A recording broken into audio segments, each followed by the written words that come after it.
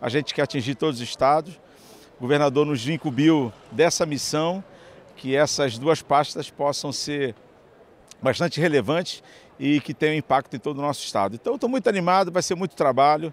A gente quer montar uma equipe muito técnica, com pessoas espe especializadas na área e eu tenho certeza que a gente vai trazer bons resultados para você de todo o estado do Rio de Janeiro.